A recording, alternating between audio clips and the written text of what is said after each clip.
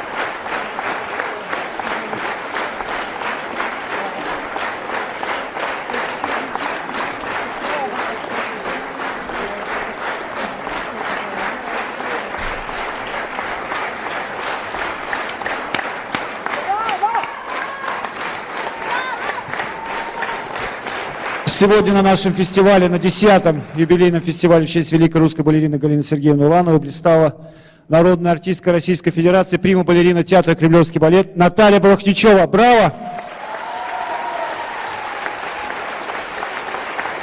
Лауреат недавно прошедшего международного конкурса артистов балета э, «Арабес-2012», обладатель третьей премии бронзовой медали Константин Коротков. Оркестр театра, дирижер Рубен Агаранян. Балет театра. Спасибо, что были сегодня с нами.